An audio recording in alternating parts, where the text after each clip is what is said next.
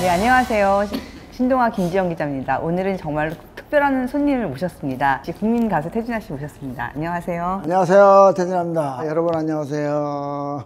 굉장히 바쁜 시기일 텐데 이렇게 자리해 주셔서 일단 먼저 감사드립니다. 아, 아닙니다. 저렇게 일단 저를 불러주셔서 감사합니다. 그동안 좀 어떻게 지내셨는지 많이 궁금하실 것 같아요. 방송에서 뉴스를 통해서 이렇게 알려진 그대로 5년 전서부터 저희 집사람이 치매를 예, 판정받고 나서부터 집사람 간병하면서 제가 이제 저희 회사 사옥의 1층에 이제 또 직원들 식당 겸해서 파스타 집을 하나 차렸는데 그게 또 맛집이에요. 음, 이름이 뭐죠? K2원트라고 이민가 살을 때 저희 집사람을 뉴욕에서 만났어요. 뉴욕에서 만나서 또 이루가 태어나기도 또 뉴욕에서 태어났고 그러니까 뉴욕 에리어 코드는 안 보여요. 우리 한국으로 말하면 뭐 서울 02, 경기도 031 이렇게 있듯이. 예. 그래서 그 이제 카페 이름을 제일 처음에 저는 야 그냥 태진아 카페라고 그래. 백종원 다방도 있고 다 그러는데 뭘. 그랬더니 우리 아들이 있다가 이루가 아빠 그건 안 좋은 거예요 제가 한 만들어 볼게요. 그러더니 K1이라고 딱 쓰더라고요. 어 근데 느낌이 괜찮아요. 예. 그, 야 이- 나는 잊어버렸어. 212가 맨하탄 에리어 코드인지 야 212가 뭐냐 그러니까 아빠 엄마하고 뉴욕에서 처음에 만나고 나도 뉴욕에서 태어났잖아요. 아 그래. 야 그럼 K는 뭐냐 그랬더니 K 한국에 왔어요 K. 그래서 뉴욕 맨하탄 에리어 코드다. 그렇게 해서 해갖고 오 느낌이 좋았어요. 그뭐 지금도 장사도 잘 되고 다 좋아요 편안하고. 내가 요즘 간병하면서 그 다음에 또 뭐 좀 시간 나면 회사가 또 그 자체에 있으니까 예, 회사에 가서 일 보다가 좀 시간 나면 그냥 카페에서 어, 손님들 오시면 내가 직접 서빙도 해요. 예, 뭐 식사도 갖다 드리고 커피도 갖다 드리고 다 갖다. 그러면 또 오늘도 오기 전에 사진을 한한 20분하고 사진 찍었어. 단체로다가 한 15분이 오시고 또 한 5명이 오셨더라고. 용인서 왔다고 하시는 분도 있고 한 분은 부평에서 왔다고 그러시고. 예. 그런 재미도 있어요 또. 또 트로트 전성시대가 됐어요. 어떻게 생각하세요? 그 트로트 전성 시대라는 거는 벌써 그 옛날에 있었었어요. 나훈아 선배 뭐들 나왔을 때 조용필 선배들 나왔을 때 나훈아 남진의 또뭐 라이벌 전성 시대가 또 있었잖아요. 제가 미국에 이민 갔다가 다시 1988년도 서울 올림픽 때 와가지고 89년도에 옥경이가 탄생을 하면서 그때도 뭐 각종 이제 음악 방송들 공중파 방송대에서 그 순위 프로가 있었잖아요. 지금은 뭐 KBS 뮤직뱅크 그런데 그때는 가요 탑10 뭐 이렇게. 그 그때 당시 때는 전체 다 전 장르 가수를 다 통틀어서 거기서 1등이 나왔으니까 그 저도 그때 가요 탑10에서 골드 한번 하자 그뭐 5주 골드컵도 탔고 바로 그 다음 주에 연결되면서 미안 미안해가 또 3주 또 1위를 했어요. 그 당시 때 나온 가수들이 거의 다 뭐 우리 현철 선배, 그 다음에 뭐 설운도 송대관 선배, 할것 없이 주현미, 뭐 김수희, 뭐 김지혜 등등 다 스타들이 그때 다 트로트 스타들이 그야말로 그때 트로트 전성 시대가 또 있었었어요. 그러다가 91년, 92년 들어서면서 서태지와 아이들이 등장을 하면서 또 이제 막 그때 말이죠 팝 같은 그 음악 그 다음에 막 정말 힙합 이런 음악들이 막 또 한때 줄을 이루다가 다시 조성모라는 가수가 나타나면서 뭐 발라드가 쫙 연결이 됐었어요. 물론 뭐 이승철도 있었고 다 있었지만 그때 또 발라드 가수들이 많이 나왔거든요. 어느 날부터인가 이 트로트 장르가 뒤로 이렇게 후퇴하기 시작했어요.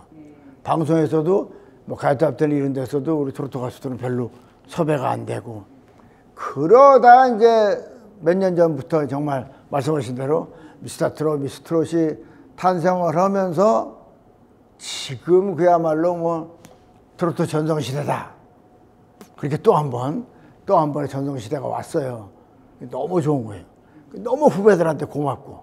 팬들이 투표를 했잖아요. 예? 이 미스터 미스터 트롯. 뭐 영탁이를 투표했다. 그러면 영탁이를 계속 찍어갖고 영탁이가 top seven 안에 들어온 거예요. 그러면 그 투표를 하신 분은 자, 본인이 영탁이를 키운 걸로, 본인이 임영웅이 키웠다, 본인이 이찬원을 키웠다 이렇게 생각하는 거예요. 그럴 수밖에 없어요. 왜냐하면 처음부터 끝날 때까지 투표를 문자 투표를 했으니까 응원을 했고 그러다 보니까 이제 다 이렇게 영탁은 영탁 팬, 임영웅 임영웅 팬, 이찬원 이찬원 팬 팬들이 이래 다 갈라져 있잖아요, 그죠? 2000년대 이제 활동하다가 한 4개월 만에 일본에서 또 상도 타고 막 하나의 그, 그 그야말로 일본의 그 트로트 우리나라로 말하면 트로트 거기 앵가 쪽을 한번 제가 쓱 스윙 스윙을 한번 쳤잖아요. 그리고 상 딱 일본의 3대 메이저 시상식에서 상을 타고 장려상 타고 이제 그 빅뱅이 같이 탔어요. 거기서 빅뱅이 이제 신인상을 타고 같은 무대에서 지금도 태진아 팬이 있어요. 많이 있어요. 요 얼마 전에도 이제 이렇게 일본에서 가끔씩 가서 디너쇼라고 오거든요. 그럼 그냥 무조건 천석 그냥 아웃이에요. sold out이야. 예. 그러면 여기 태진아만 쳐다보는 거예요. 근데 이제 한 가지 아쉬운 건 뭐냐. 공연장 같은 데 이렇게 갔을 때 행사 공연장을 가든 뭐 가면은 자, 임영웅 팬들이 왔다. 그 다음에 이찬원 팬들이 왔다. 예를 들자면, 그러면 이제 자, 이찬원이 노래한다. 그러면 이찬원 나한테 와! 하다가 다시 김희자가 나왔다. 그럼 이찬원 팬들은 박수 치는 사람이 그렇게 많지가 않아. 조용해. 그런 게 아쉬운 거예요. 서로 내가 이찬원 팬이든 임영웅 팬이든 영탁 팬이든 정동원 팬이든 장민호 팬이든 간에 다른 가수가 또 나오더라도 와 재밌게 그렇게 축제 분위기로 우리 때는 안 그랬거든요. 2000년도 저 사랑은 아무나 하나 나올 때까지만 해도 다들 그냥 그 뭐그 행사장에 오시면 전원이 다 그냥 태진아가 나오면 태진아한테 야 하고 뭐 응? 송대관 나오면 송대관한테 야 하고 다 이랬어요. 근데 요즘은 그런 게 그런 게 조금 좀 아쉬워요. 그게 아무래도 처음 태생부터 이렇게 서로 경쟁 관계로 시작하다 보니까 그러니까, 그러니까. 아무래도 그렇죠. 그것도. 진짜 근데 대단한 게 그분들 막 땡평 같은 데서도 막 몇 시간씩 그 응원하려고 그 잠깐 무대 한 번 보기 위해서 제일 공연장 가서 같이 공연할 때 딱 보면 아, 그 못해요. 나를 보러 오신 거가 아니지만 그막 버스가 그냥 몇십 대씩 막 대절해서 와. 그러면 그냥 탁 보면 그냥 어, 그 기분이 좋아요. 왜? 내가 쓰는 무대 우리 트로트 후배 가수들이 왔는데 그 팬덤들이 다 오셨으니까 많은 분들이 박수 치니까 제가 나가서 노래하면 다 저한테 박수 치는 거다 생각을 해. 그런데 한 가지 참 재미있는 게, 그 이제 그 후배들이 노래를 하면 각자 그, 그 후배의 노래만 이렇게 예, 하잖아요. 듣고 같이 따라 부르고. 근데 이제 그 후배들이 다 끝났어. 그럼 제가 이제 엔딩을 해요. 태진아, 딱 해서 동반자 탁 나가면 전원 다 합창해요. 전원 다 합창. 제가 동반자 때 이렇게, 이렇게 제수처 하잖아요. 이게 동반자 춤이라고 그러는데 전원 다 이거 하고 있어, 이거. 그러면 그거 보면, 아, 기분이 좋아. 예? 그, 그거 끝나고 또 사랑은 아무나, 뭐, 옥경이, 잘 살 거야, 사모 가서 한 열 곡 정도 싹 부르면 다 박수 쳐요. 우리 후배들이 바빠서 먼저 가는 후배도 있고 또 한두 명은 또 제가 끝날 때까지 기다리고 있어, 밑에. 왜 안 갔니? 왜 안 갔어? 그러면 한이야 선배님 인사드리려고요. 아, 그래? 아, 저, 저는 이렇게 선배님 무대 보면 참 나도, 나도 선배님 같이 저렇게 히트곡이 많이 나왔으면 그렇게 딱 전원 다 합창하는 노래가 있었으면 야, 그건 네가 노력하게 달렸어. 노력해라. 언젠가 너한테 오게 돼 있다. 너는 지금 너의 인지도는 다 알려졌으니까 어? 더 이상 알려줄 수가 없다. 너희들은 미스터트롯 미스트로 나오면서 완전히 알려졌으니까 이제는 히트곡을 많이 만들어야 된다. 그 얘기를, 그 얘기를 내가 후배들 만나는 후배마다 얘기해. 선생님처럼 이렇게 히트곡이 많은 트로트 가수가 흔치가 않죠. 아니, 그래도 많이 진짜 있어요. 어, 남진, 뭐, 남진 선배, 나훈아 선배, 조영필 선배, 많이들 있어요. 근데 제가 송대관 선배보단 제가 좀 많아요. 아, 송대관 보고 있나? 아, 사랑해요. 한번 나오세요, 신동아.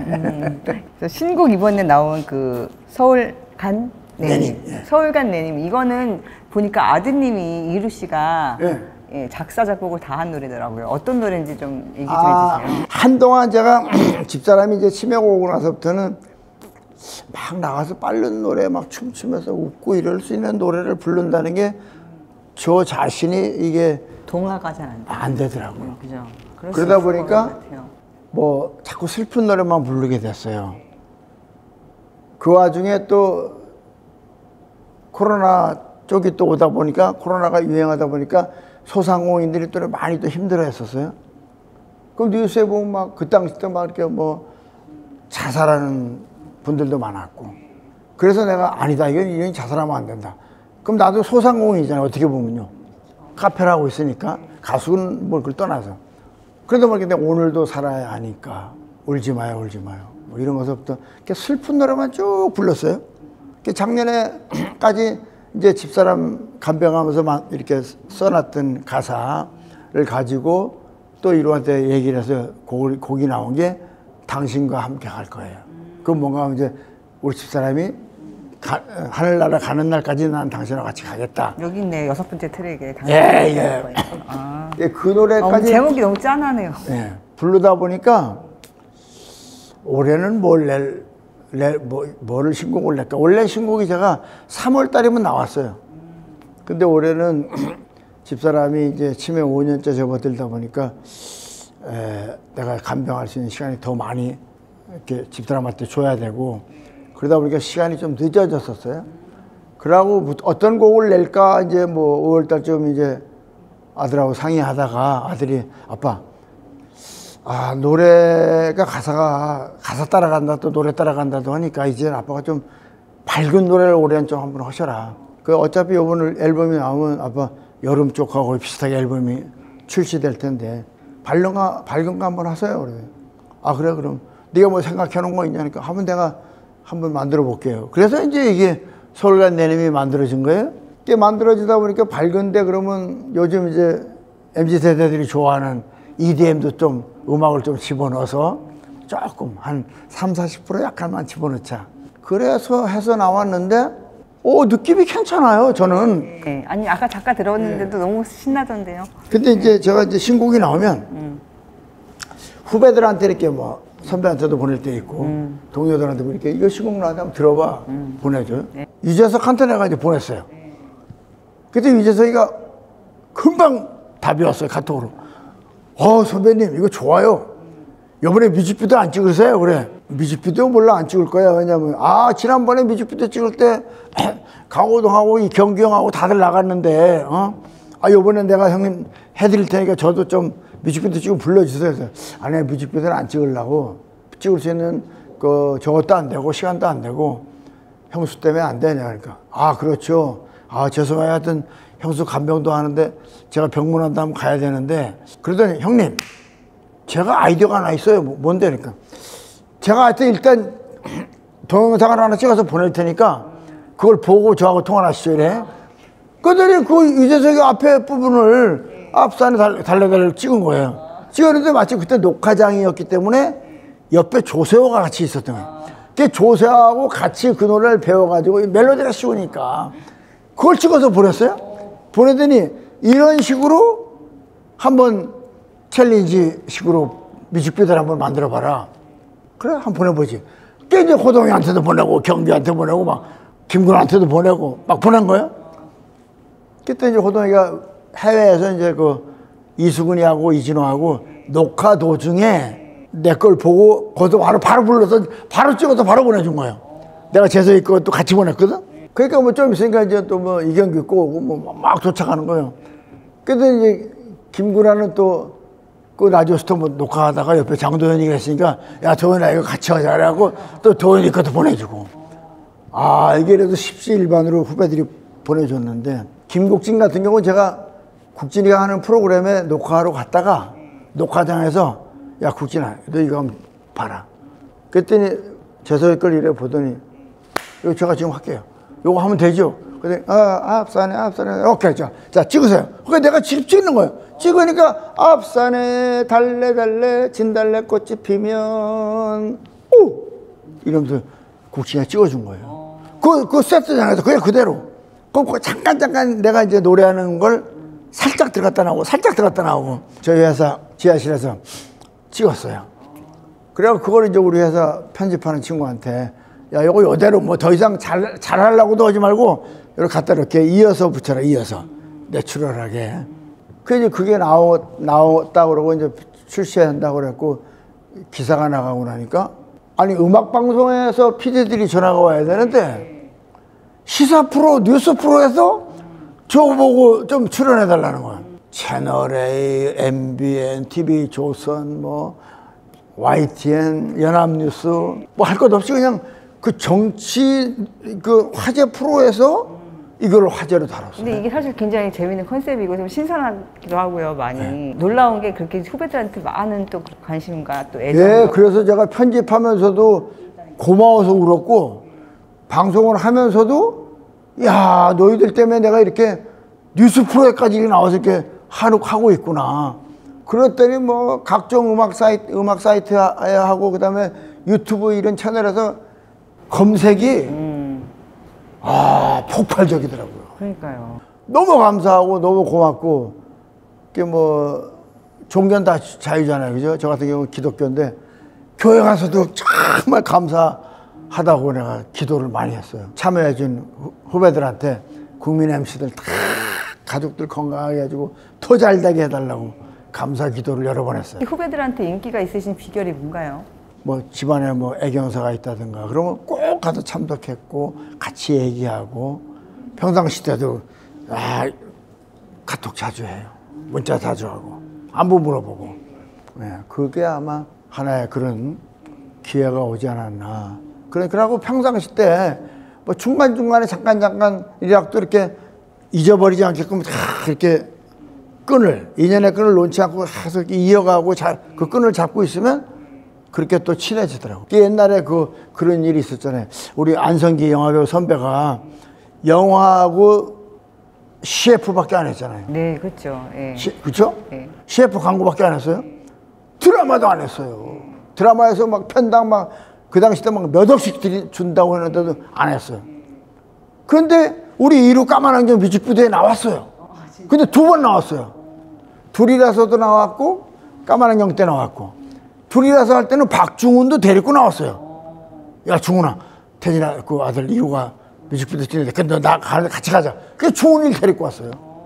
그 이번에도 서울관 내님도 그 후배들이 이렇게 국민 MC가 도와줘서 그렇게 다 변곡점이 됐듯이 그때도 그렇게 도와줬어요. 그럼 그러면 성경이 저를 도와줬다는 거는 그 누구도 얘기를 해도 한 번도 안 했는데 두 번째는 박주훈까지 데리고 왔다는 자체가 뭔가 그 형님이 저하고 이게 인간관계가 형성돼 있었으니까 찍어줬을 거잖아요. 그죠? 예. 인간관계를 이렇게 맺을 때 최선을 다해야 된다. 그래야 그게 다시 유턴해서 저한테도 올 수도 있다. 10원짜리 하나라도 도움을 받았다. 밥 한 그릇도 얻어 먹었다 그러면 영원히 제가 안 잊어먹고 내 가슴 속에다가 그렇게 갖고 있고 단 제가 베푸는 거는 그 순간에 베푸는 순간에 잊어버리고 그 아내 사랑이 정말 남다르시잖아요. 5년 동안 지금 병수발 하시고 계신데 지금 좀 어떠세요, 정세가? 자, 치매가 1점서부터 100점까지 있다. 그러면 우리 집사람은 지금 한 30점에서 한 40점 정도 이제 통과하려고 그렇게 그 정도 한 40점으로 보면 된다 이렇게 말씀하시는데 그래도 참 감사한 게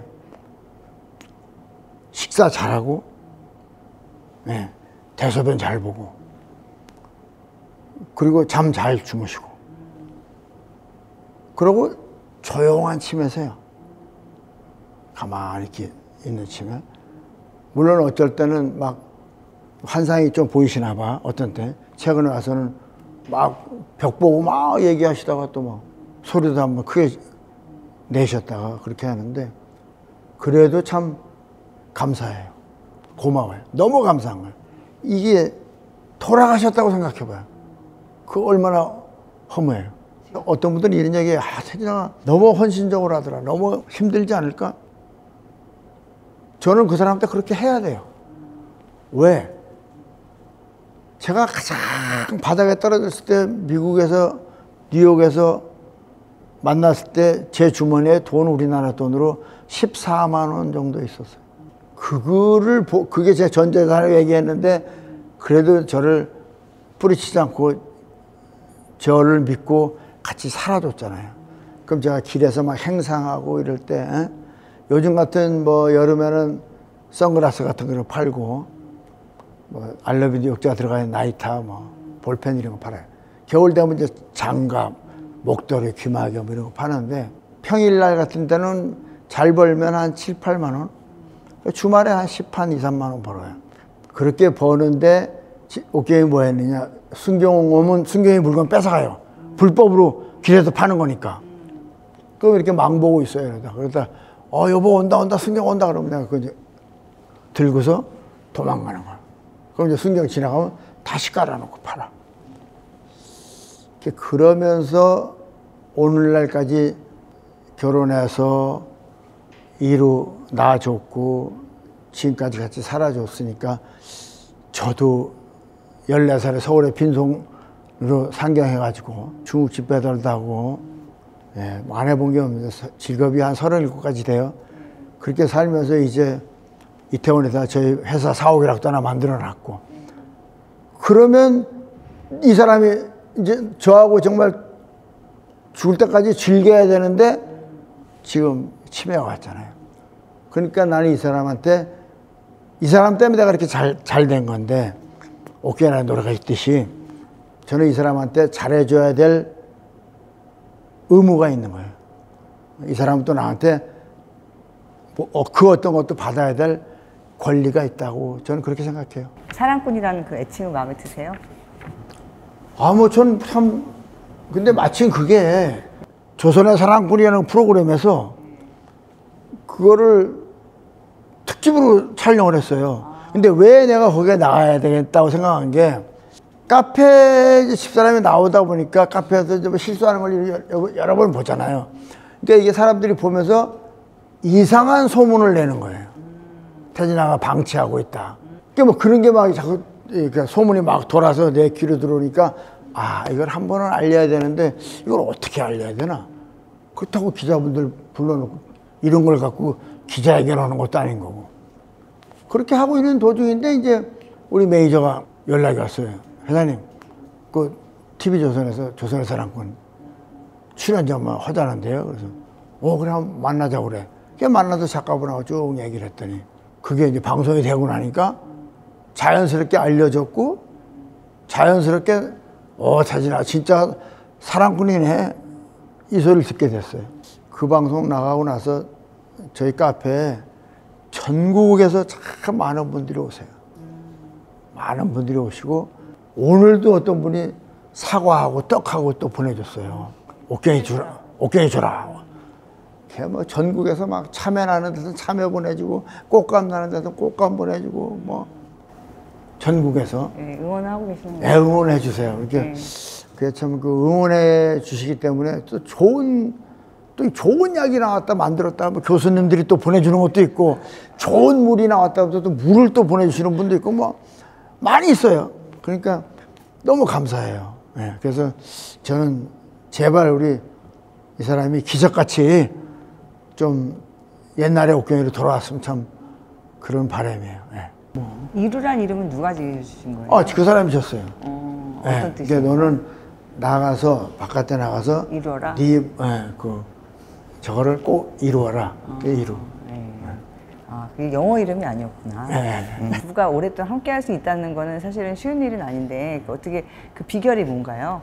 부부가 함께 오래 할 수 있다는 거는 서로 존경해야 돼요. 첫 번째. 서로 존경하고 아 그럴 수 있지. 가령 예를 들어서 뭐 집에 제가 출근했다가 집에 갔다 퇴근했다. 근데 다른 때 같으면 예를 들어 집사님 아 어서 오세요. 아이고 수고하셨네. 뭐 이래야 되는데 뭐 표정이 좀 안 좋아. 예? 입이 좀 나와 있어. 그럼 예를 들어서 아 집안에도 뭔 일이 있었나? 그러면 그걸 이해를 해야. 그- 그때부터. 그뭐 그때부터 이해를 하면서 이제 얼른 좀 씻고 나와서 뭐 이렇게 웃기는 얘기를 해주면서 어깨 좀 주물러주고 애교 좀 떨면서 예, 저는 그랬어요. 그럼 저는 그때 옥경이 불러요. 희미한 불빛 아래 이런 걸막 해주면 본인이 그러다가 시 웃어요. 그 여보 무슨 일 있었어? 집안에서 뭐라고 뭐 어떠어떠한 일이 있었었다. 아, 그래. 뭐. 저희 아버님이 그 얘기를 했어요. 야, 너 인마 네 마누라한테 잘하고 살아야 돼. 왜? 예? 그러니까 아 인마 내말 들어. 그리고 마누라 말을 잘 들으면 자다가도 떡이 생긴다는 얘기도 있어. 알았어? 그래. 그러는 아버지는 왜 엄마한테 이렇게 소리 질렀어요? 내가. 예? 근데 우리 저희 어머님이 제가 미국 갈 때 1981년도 제가 3월에 갔는데 6월에 돌아가셨거든요.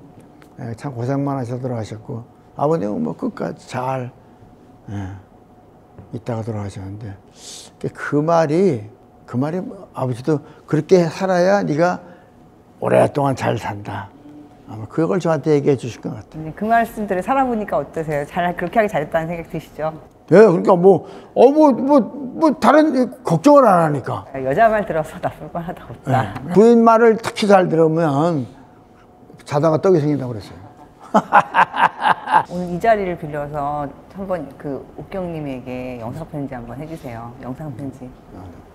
뭐 이런 거 하려고 그러면 부끄럽더라고요. 예. 여보, 내가 기도 많이 하고 있어요. 그러니까 당신 기적같이 당신이 옛날로 돌아올 거예요. 알았죠? 식사 잘 하시고, 약 잘 먹고. 그래야 돼요. 알았어요? 화이팅! 여보, 사랑해요. 당신과 함께 갈 거예요. 사랑해요. 앞산에 달래 달래 진달래꽃이 피면 서울간 내님이 오신댔어요. 뒷산에 나리나리 개나리 꽃이 피면 서울간 내님이 날 보러 오겠지 오늘 올까 내일 올까? 언제쯤 오시나요? 사랑하는 님이시여 그리운 님이시여 진달래꽃 개나리꽃 한아름 꺾어서 님 오실 때 안겨드릴게요. 앞산에 달래 달래. 진달래꽃이 피면 서울간 내님이 오신댔어요. 뒷산에 나리나리 개나리꽃이 피면 서울간 내님이 날 보러 오겠지